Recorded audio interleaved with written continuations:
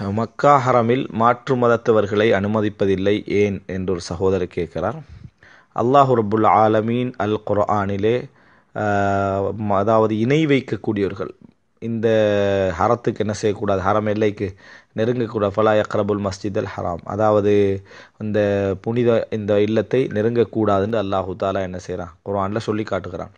எனவே பள்ளியும் பள்ளியை சூழ ஒரு குறிப்பிட்ட எல்லைக்குள் ஹரம் எல்லைக்குள்ள முஸ்லீம் அல்லாதவர்கள் நுழையக்கூடாது என்பது இஸ்லாமிய மார்க்கத்துடைய சட்டம் அல்லாஹுடைய சட்டம். இந்த சட்டத்தின் காரணமாகத்தான் அவர்களுக்கு அங்கே நுழைய தடை. இந்த கேள்வியை நம்ம எப்படி தெளிவாக புரிஞ்சுக்கணும்னு சொன்னால் இது அல்லாஹுடைய பூமி அதாவது படைத்தவனுடைய பூமி முஸ்லீம்களோட அல்லாவுடைய பூமின்னு அவங்க வழங்கக்கூடாது. இது படைத்தவனுடைய பூமி. படைத்தவனைக்கு இணை வைக்கக்கூடாது என்பது இயல்பான சிந்தனை. படைத்தவனுக்கு இணை வைக்கக்கூடாது. படைத்தவனுக்கு நம்ம இணை வைப்பது என்பது ஒரு மிகப்பெரிய அநியாயம். பெத்தவங்களை விட்டுட்டு இன்னொரு பெத்தவங்களை நம்ம சொன்னால் எவ்வளோ பெரிய அநியாயமோ அதுபோல் வந்து படைத்தவனுக்கு இன்னொரு ஒரை படைத்தவன் இருக்க இன்னொருவரை வணங்குறன்றது ஒரு மிகப்பெரிய அநியாயம்.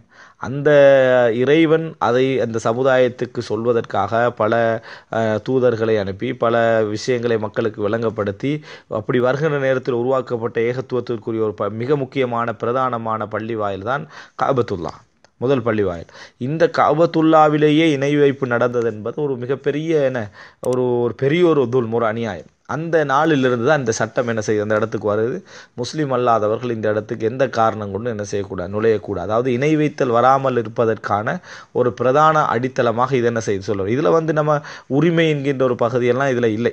இது இறைவனது உரிமை. இறைவன் இந்த இடத்துல முஸ்லீம் அல்லாதவர்கள் இந்த இடத்துக்கு நுழையக்கூடாது அப்படின்னு சொல்கிறாங்க இன்றைக்கு முஸ்லீம்களில் ஒரு சமுதாயமாக வெளி உலகத்தில் உள்ளவங்க பார்க்குறவங்க தான் காதியானி சமுதாயம். காதியான்களுக்கும் இந்த இடத்துல வரக்கூடாது என்று என்ற சட்டம் போடப்பட்டிருப்பதற்கான மிக பிரதானமான காரணம் என்ன?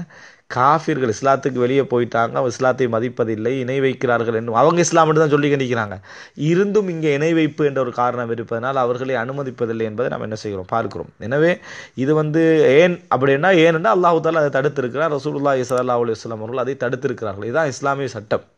அந்த அடிப்படையில் தான் அவர் என்ன முஸ்லீம்கள் அல்லாதவர்கள் இங்கே வரக்கூடாது நம்ம என்ன செய்கிறோம் சொல்கிறோம் இந்த அடிப்படையில் நம்ம இதை புரிஞ்சு கொண்டோம்னா இதுக்கு ஒரு தத்துவம் ஒன்று இருக்கணும் என்றால் இதுதான் தத்துவம். என்ன தத்துவம்? அல்லாஹ் அதாவது தான் தனது பூமியிலே இந்த இடத்துக்குள்ளே இணை வைக்கக்கூடியவர்கள் எல்லா இடத்துலையும் வாழ்கிறதுக்கு இறைவன் என்ன செய்யணும் அனுமதிக்கிறான். அவன்ட பூமி. சரி நீ என்னை ஏசிக்கிறனாலும் சரி எனக்கு மனைவி இருக்கிறன்னு சொன்னாலும் சரி எனக்கு பிள்ளை இருக்கிறன்னு சொன்னாலும் சரி எனக்கு இணை வைக்கிறால் எனக்கு அநியாயமான உருவங்களை நீ கற்பித்தாலும் சரி இந்த பூமியில் எல்லா இடத்துலையும் நீ வாழ்ந்துக்க பிரச்சனை இல்லை. ஆனால் இந்த இடத்திற்குள்ளே நீ வராத என்று இறைவன் போட்ட ஒரு சட்டம் தான் இது. எனவே அதை நம்ம சட்டப்படி நம்ம இஸ்லாமிய அடிப்படையில் நம்ம புரிஞ்சு கொண்டோம்னா ஒரு மிகப்பெரிய ஒரு தாராளத்தன்மையோடு இறைவன் என்ன செஞ்சுக்கிறான்? அந்த சட்டத்தை போட்டிருக்கிறான் என்பதை நாங்கள் என்ன செய்யலாம்? புரிந்து கொள்ளலாம்.